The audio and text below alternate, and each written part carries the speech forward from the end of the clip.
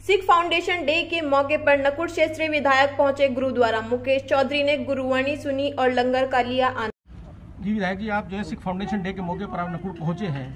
क्या कार्यक्रम था? क्या संदेश देना चाहेंगे क्षेत्र में? देखिए आज जो है सिख स्थापना दिवस है और गुरुद्वारे का यहाँ पर इस क्षेत्र में स्थापना की है। सब लोगों ने मिलकर संगत ने। उसका आज उद्घाटन करने हम सब लोग यहाँ आए थे और सत्संग सुनने हम सब लोग यहाँ आए थे। वाहिगुरु जी का आशीर्वाद लेने हम सब लोग यहाँ आए थे। और वाहिगुरु जी से एक ही मैं प्रार्थना करता हूँ कि हम सब लोगों को इतनी ताकत दे कि हमारे इस नकुड़ विधानसभा में किसी गरीब की आँखों में आँसू ना रहे। हर गरीब खुशहाल हो।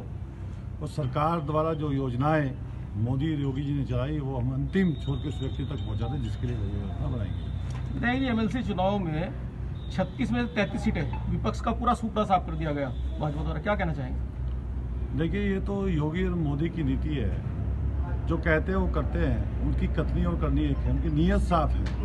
उनकी नीयत अंतिम छोर पे रहने वाले उस व्यक्ति की मदद करना है, जिसका कोई सिफारिश नहीं है।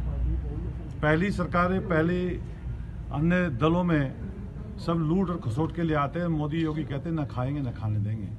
निश्चित तौर पर जब देश का प्रधानमंत्री और यूपी का मुख्यमंत्री इतने ईमानदार होंगे, इतने शानदार होंगे, इतने जानदार होंगे, इतनी अच्छी उनकी नीति होगी, इतनी अच्छी उनकी नीयत होगी तो निश्चित तौर पर विपक्षियों का सफाया होता रहेगा।